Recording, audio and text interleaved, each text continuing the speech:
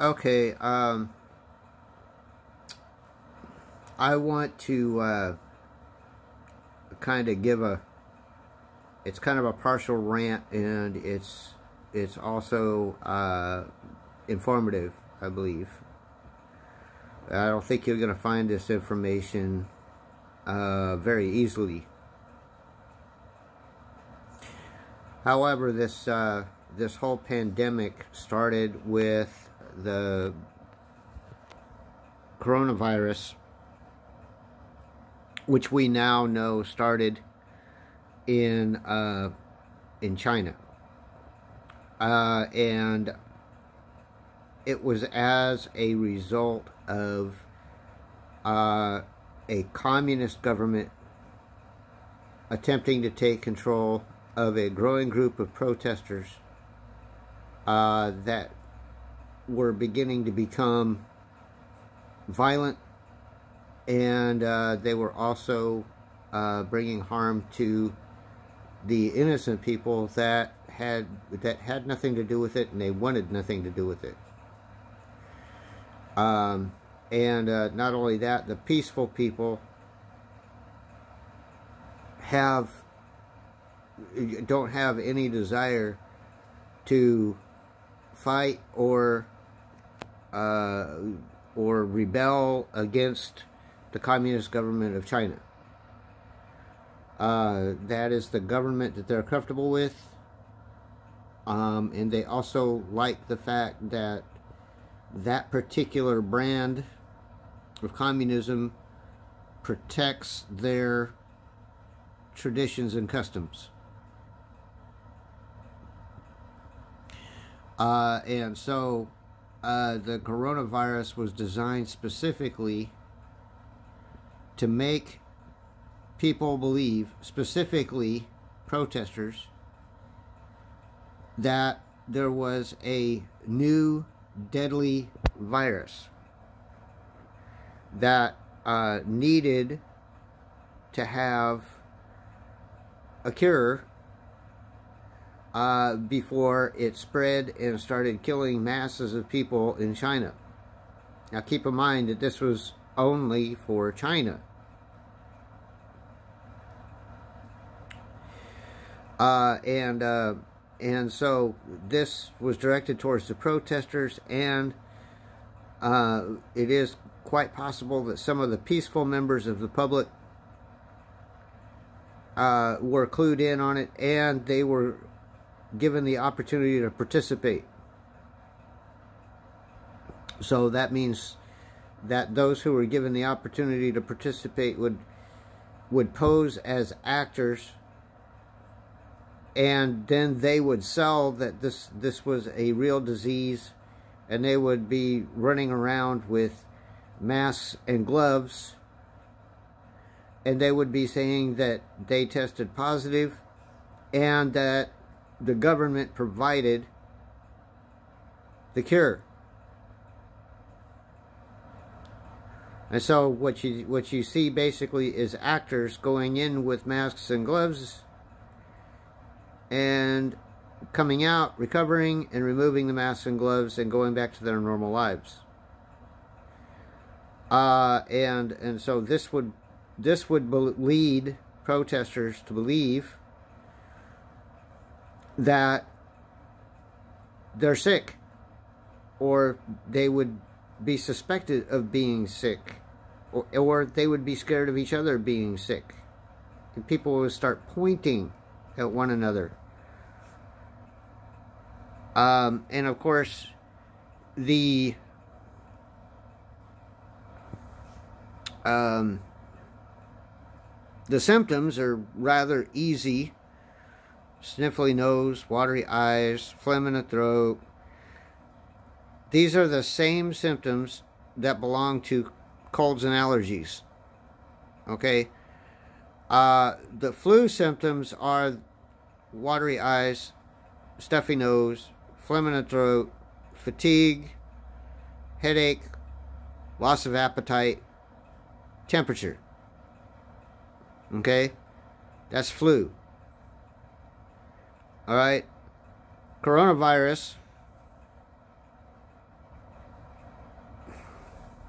It's the same thing. Watery eyes, runny nose, phlegm. The cold, watery eyes, runny nose, phlegm. There is no difference between a cold and a and, and a and a Dawanhu virus or whatever it is. Okay? No difference. The only test is actually for somebody to go to the hospital and say, I have it. And hopefully, the Chinese government would hope that this was a protester seeking the government's help for a treatment. Okay? Uh, so if this guy is identified as a protester, then with then quote unquote treatment would be withheld, and then they would be forced to wear a mask and gloves to identify them and to stay away from them. In other words, it's a warning. Okay? It's it's a way of marking a person of interest. All right? Gloves and mask. Okay, now China has influence. It has the most influence over the World Health Organization, which should not actually be the case. The United States funds the lion's share of the World Health Organization. Therefore, the CDC should be doing its own studies and its own research and should be the primary influence, or not the primary, but it should have the most influence in the World Health Organization since the United States provides the lion's share of the money. However, that's not the case. China has influence over the World Health Organization. The World Health Organization uh, does its studies and research in accordance with China's directives. And then the CDC gets its information from the World uh, the World Health Organization. In other words, the Center for Diseases and Control in the United States is basically saying this research has already been done for us by the World Health Organization. So let's get our information from them and then we'll pass this information on instead of actually doing their own research on the disease. All right? So the first thing we need to do is we need to cut and run from World Health Organization. And the second thing we need to do is get rid of the Obama era doctors that are in charge of the CDC in the United States and put fresh folks in there that have a conservative point of view who don't have a specific monetary interest other than this is my job. I do this for a living. And they also understand the importance of truthful research and reporting on their findings. What I'm finding through this is that there are nine states which have chosen not to stay at home or shelter in place because they have their own doctors who have the ability to research and decipher whether this is an actual threat or not.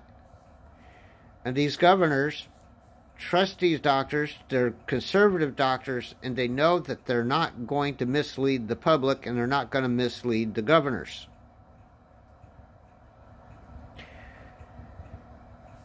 Uh, and so these nine states have actually made the right call. This is not a pandemic. This is not something that is going to bring harm to their population and their state.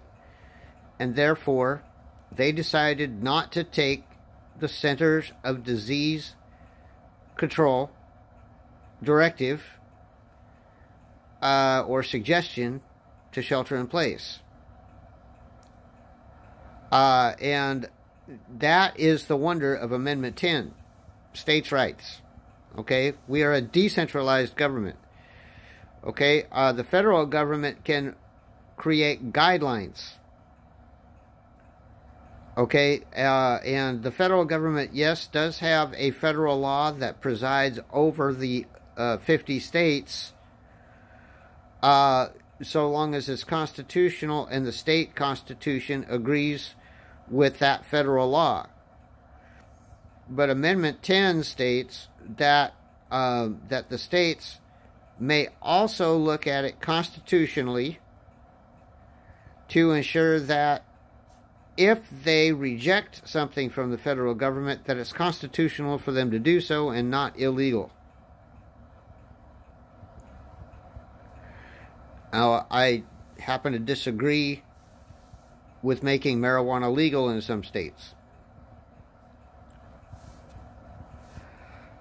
Um, I believe that illegal drugs should never be legalized because it supports drug trafficking. Okay?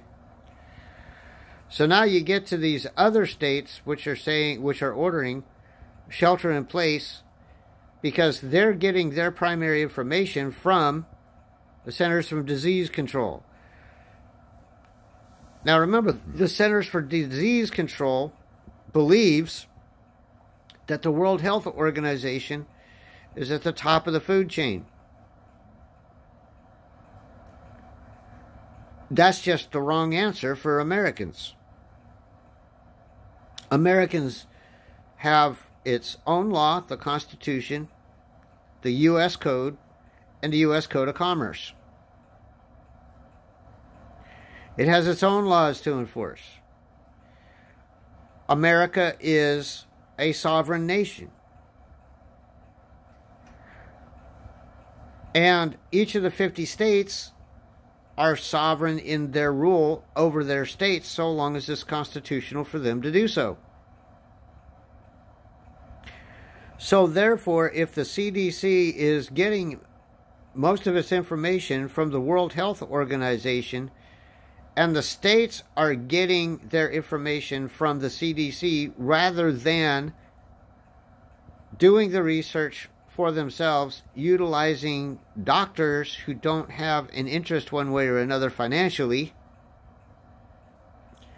to arrive at the correct answers, then basically what these states are doing is setting up the U.S. for a global one world government, and the global one world government would be controlled by medical mandate.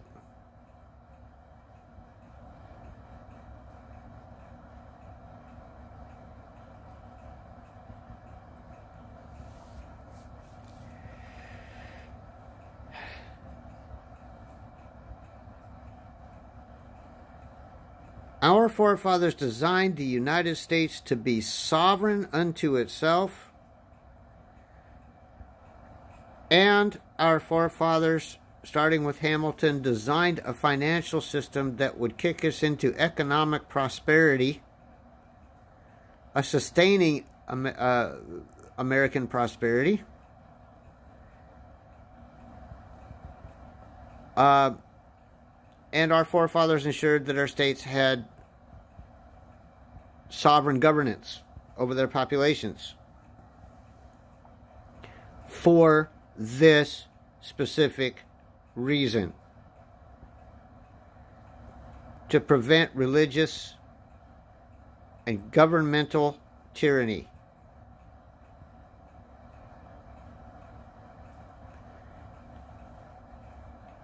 I just needed to make that comment because the United States needs to be doing its own research and, and obtaining its own information rather than borrowing information from other nations and making it apply to the United States. without doing their own research. That's just wrong.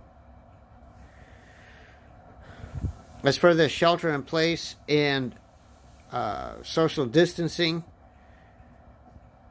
that should be a decision that's made by the individual and by the families and community. Because individuals also are sovereign under the Constitution, and there is a head of household over each household who makes the decisions for that household. There is, are parents for each household which decide who to hang out with and who not to hang out with and who to allow their children to hang out with and what activities they will do in community. So therefore, telling people to socially distance themselves from one another frustrates this sovereignty. And then not only that, it prevents community immunization. What happens when you have a man and a wife come together and, well, you know, they've made love and they've been together, they have, uh, they're faithful to one another and they have kids. Well, if they have two kids, then they've got immunity to diseases times four. And then the kids are constantly evolving in their uh, in their immunity as they grow up, and so that becomes an ironclad immunity for that family. Uh, if you take two or three families and you put them together in community, the kids are playing together. They they all play cards. They drink together. They eat after each other. They drink after each other. They're they're passing stuff around.